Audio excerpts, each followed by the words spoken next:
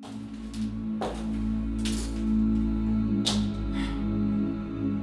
five-year-old, her daughter, came home and and she said, you know Gogo, you know Gogo, Ramos.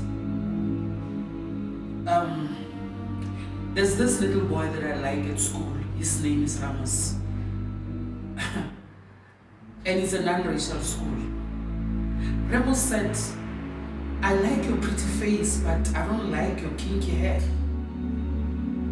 And people still get surprised about the sparrows of today who call us monkeys. And they think it's a joke. They think it doesn't affect them. It only affects those people who are called monkeys. It's an insult to all of us. You know, these people mustn't tempt us. They mustn't take us to the, you know, to the racism that drove us to the forest. We are still here. And we are alive.